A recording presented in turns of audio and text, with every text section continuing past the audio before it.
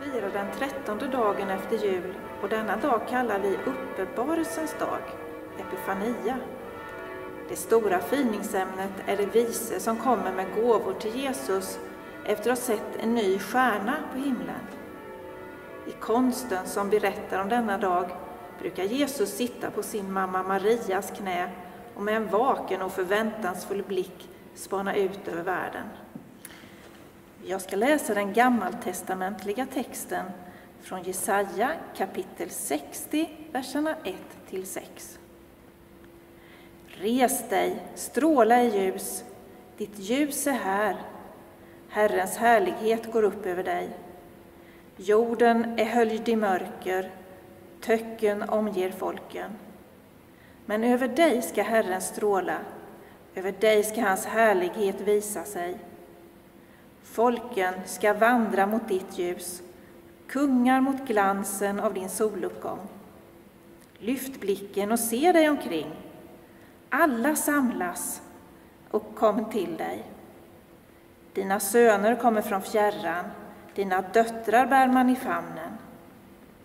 När du ser det ska du stråla av lycka, ditt hjärta ska bäva och bulta.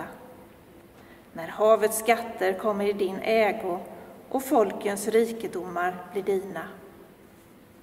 Kameler i mängd ska fylla ditt land, dromedarer från Midjan och Efa. Från Saba kommer de alla med last av guld och rökelse, och de förkunnar Herrens ära. Guds ljus och Guds nåd har gått upp över världen genom Jesus Kristus, världens frälsare, som gav sitt liv för oss. Du, Gud, har uppenbarat din frälsning och berättat om Guds riket. Du har kommit med din fred till oss.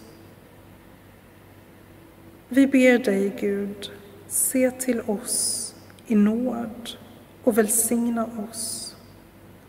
Och vi ber att du låter ditt ansikte lysa över oss. Må dina vägar bli kända över världen, att din frälsning uppenbaras över hela världen, i varje hem och i varje hjärta.